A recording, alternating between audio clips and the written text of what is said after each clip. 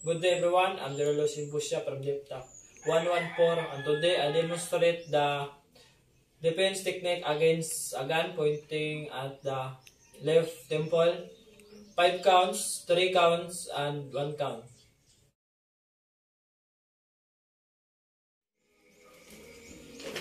One, two, three, four, five.